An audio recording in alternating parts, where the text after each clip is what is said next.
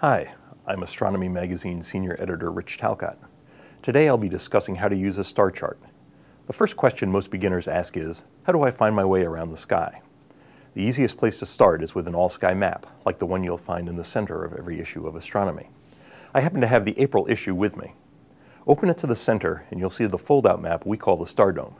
I've mounted this map on cardboard to make it easier for you to see how to use it. Because the sky lies overhead, we designed the map to be held above your head. Let's start with our tour in the western sky. Find the big yellow W on the map's right side and orient it so the W lies at the bottom as you look due west. Late on April evenings, you'll see the stars of winter descending toward the horizon. Only part of Orion remains visible, while the bright star Procyon and Gemini's twin stars, Castor and Pollux, appear prominent higher in the west. Next, shift your gaze to the southern sky. Turn the map 90 degrees counterclockwise and place the yellow S at the bottom. More than halfway up in the sky, you'll see two of spring's bright constellations, Leo and Virgo. The planet Saturn currently lies in southern Leo, below it as you look up. Note that as you face south with the map overhead, east lies to your left and west to your right. This arrangement looks odd when you look down on the map, but it's perfectly logical as you look up. Now go back to Leo and Virgo. Then crane your neck and look straight overhead. Here you'll see the huge constellation Ursa Major with its group of seven bright stars known as the Big Dipper. To find the other bright stars and constellations scattered across April's evening sky, simply turn the map to match the direction you're facing. We plot the stars on the star dome as they appear from 35 degrees north latitude, so the map works well if you live anywhere between 25 and 45 degrees. This covers most of the United States and the map gives a good approximation of the sky from as far north as 50 degrees latitude and as far south as 20 degrees. Each month's map depicts the sky in late evening, after twilight has faded completely. The exact times appear at the top left of the map, but the sky doesn't change a lot within an hour or two of these times.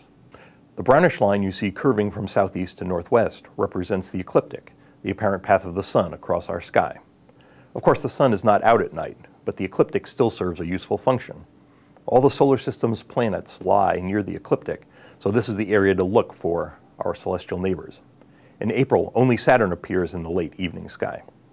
All stars appear as points of light to the naked eye, but a map with nothing but small points on it wouldn't help much. On our map, we show brighter stars as bigger circles. Astronomers measure a star's brightness on what's called the magnitude scale. We show the scale for our map at the lower left corner. In keeping with ancient tradition, the fainter a star, the higher its magnitude.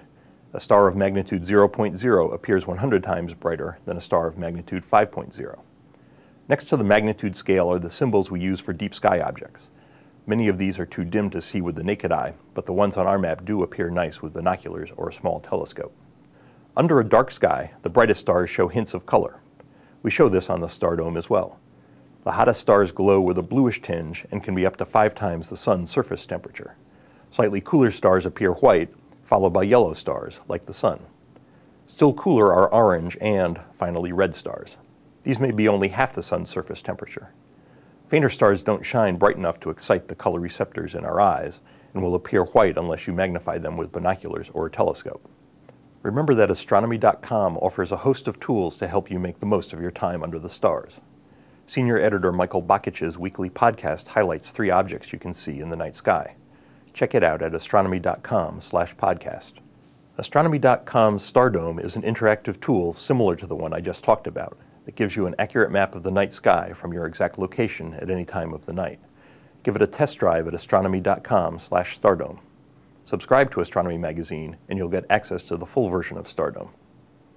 Finally, a great way to never miss sky events like comets, meteor showers, or planetary appearances is to subscribe to our free weekly email newsletter.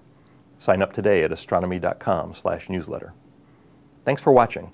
To see more helpful videos like this one, visit astronomy.com/videos.